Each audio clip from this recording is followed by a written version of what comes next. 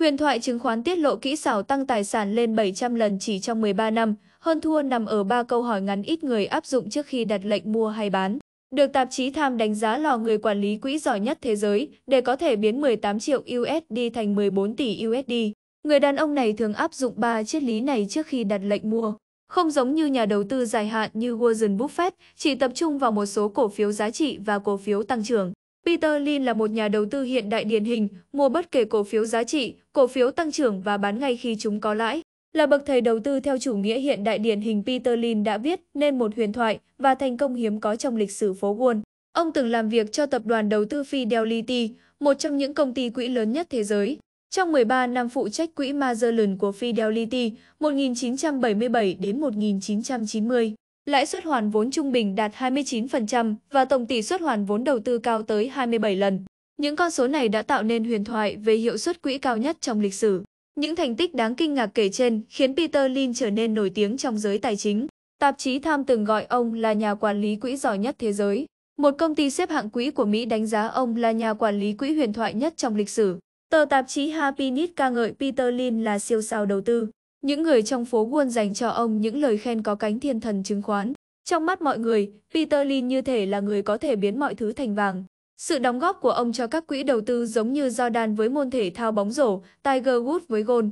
Ông đã nâng việc quản lý quỹ lên một cấp độ mới, biến việc lựa chọn cổ phiếu thành một nghệ thuật. Cha đẻ quỹ tương hộ Mỹ Joy Newber từng nhận xét, Buffett, Peter Lin và Soros là ba nhà đầu tư vĩ đại nhất trong xã hội hiện đại. Tôi muốn dùng từ thiên tài để miêu tả về họ. Nếu phải chọn ai là người hoàn hảo nhất, xét về tổng thể, tôi sẽ chọn Peter Lin.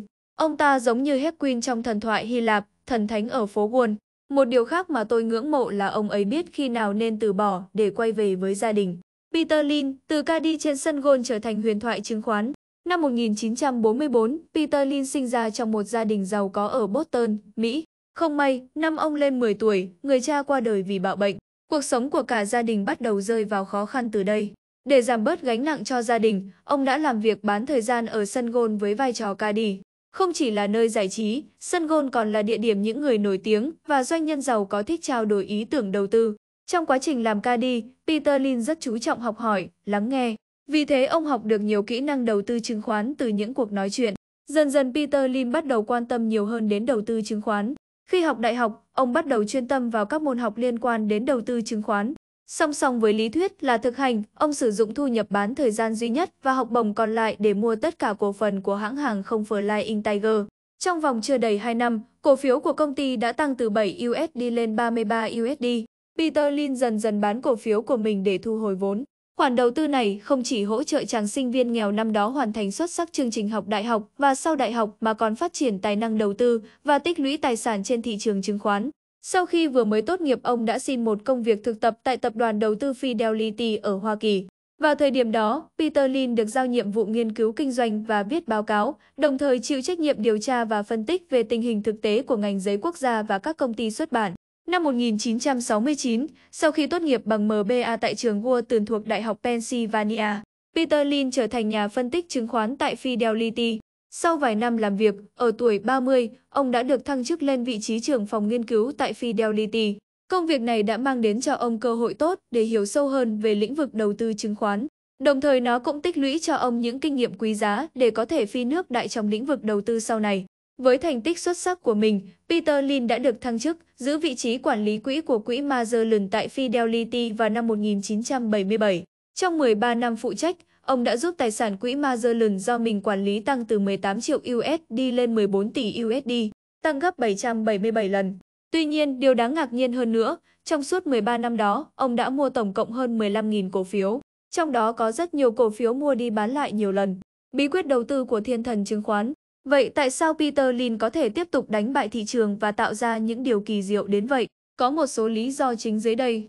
Một, Peter Lin là một người yêu công việc, rất siêng năng và chú ý nghiên cứu hơn những người khác để có được thông tin trực tiếp. Peter Lin ra ngoài vào lúc 6 giờ 5 phút sáng và tài liệu ông cần đọc trong một ngày cao đến gần 100 cm. Ngoài ra, ông rất chú trọng đến công việc nghiên cứu và những chuyến thăm của đến các công ty niêm yết, bao gồm các chuyến thăm của công ty niêm yết đến Fidelity và cả chuyến thăm của Lin tới những công ty niêm yết. Các chuyến thăm này tăng đều vào mỗi năm, 1980 là 214 công ty, Năm 1983 là 489 công ty, năm 1986 là 570 công ty. Peter Lin đã nói, tôi luôn tin rằng làm việc chăm chỉ sẽ được đền đáp xứng đáng. Nếu bạn nghiên cứu 10 công ty, bạn sẽ tìm được một cổ phiếu thú vị. Con số này sẽ là 2 nếu bạn xem xét 20 công ty. Vì thế nếu xem xét 100 công ty bạn sẽ tìm thấy 10 mã cổ phiếu nên đầu tư. Triết lý đầu tư của Lin luôn là kiểm tra nhiều công ty nhất có thể. Nếu bạn không tiến hành nghiên cứu về các công ty niêm yết và tiến hành các thao tác phân tích cơ bản thì việc hỗ trợ của các phần mềm liên quan đến đầu tư chứng khoán cũng trở nên vô ích. 2. Peter Lin rất linh hoạt và táo bạo. Peter Lin từng nói, việc lựa chọn cổ phiếu, tính linh hoạt là chìa khóa, bởi vì bạn luôn có thể tìm thấy một số cổ phiếu của công ty bị định giá thấp trên thị trường chứng khoán. Ngoài John Templeton, tôi là người đầu tiên nắm giữ nhiều cổ phiếu. Peter Lin thường tập trung vào các cổ phiếu tăng trưởng nhanh vốn hóa nhỏ trong giai đoạn đầu. Giai đoạn sau ông đầu tư mạnh vào những cổ phiếu blue chip vốn hóa lớn. Đồng thời ông liên tục điều chỉnh chiến lược lựa chọn cổ phiếu theo điều kiện thị trường và quy mô quỹ. Bên cạnh đó, ông đã điều chỉnh liên tục và linh hoạt chiến lược quản lý danh mục đầu tư của mình từ mua bán thường xuyên ở giai đoạn đầu sang nắm giữ lâu dài ở giai đoạn sau. 3. Peter Lin có 3 triết lý đầu tư đúng đắn. Trước khi mua cổ phiếu, Peter Lin chia việc phân tích cổ phiếu thành 3 bước. Đầu tiên phân loại các công ty dựa trên tốc độ tăng trưởng doanh thu và áp dụng các phương pháp phân tích tương ứng để phân bổ tài sản và chiến lược bán. Thứ hai là tiến hành phân tích định giá và đánh giá xem giá cổ phiếu của công ty có được định giá quá cao hay không dựa trên các chỉ số định giá. Cuối cùng hãy nghiên cứu câu chuyện về sự phát triển trong tương lai của công ty. Peter Lin gọi đây là điều quan trọng nhất cần biết. Trước khi đặt lệnh mua, Peter Lin luôn suy nghĩ trong 2 phút và đánh giá lại 3 câu hỏi. Ngày 1, tại sao tôi quan tâm đến cổ phiếu này? 2. Công ty có những điều kiện gì để thành công? Ngày 3, những trở ngại nào sẽ gặp trong tương lai và làm thế nào để giải quyết chúng? Lin cho biết sẽ chỉ thực sự mua cổ phiếu khi ông tự tin rằng mình có thể hiểu những vấn đề trên và hài lòng với câu trả lời. Sau khi mua cổ phiếu, thời điểm bán cũng rất trọng trọng, tìm điểm bán còn quan trọng hơn điểm mua. Là một bậc thầy đầu tư, ông có một quan điểm độc đáo về việc bán cổ phiếu. Qua nhiều năm kinh nghiệm tôi học được là suy nghĩ xem khi nào bên bán cổ phiếu cũng giống như khi nào nên mua cổ phiếu. Theo QQ News,